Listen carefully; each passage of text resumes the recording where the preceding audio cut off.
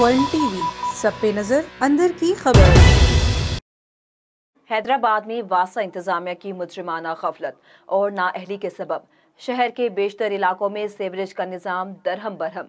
Hyderabad city और Latifabad 10 number 11 number रबी लवल चौक समेत बेशतर इलाकों की गलियों में सड़कों पर अभी तक सेवरेज का पानी खड़ा हुआ है, जिससे इलाका मकीनों को शदीद मुश्किल का सामना करना पड़ रहा है।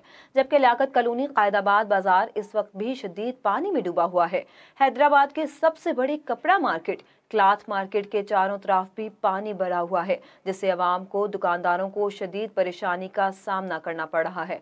शहरों ने सिंध हुकूमत और कमिश्नर हैदराबाद से मुतालबा किया कि वासा इंतजामिया की नाअहली का नोटिस लेकर जिम्मेदारान को खिलाफ कार्रवाई अमल में लाई जाए। हैदराबाद के मुख्तलिफ़ इलाकों में पानी की निकासी के लिए फौरी इकदाम किए जाएँ ताकि मामलात ज़िंदगी सही तरीके से रवा दवा हो सके।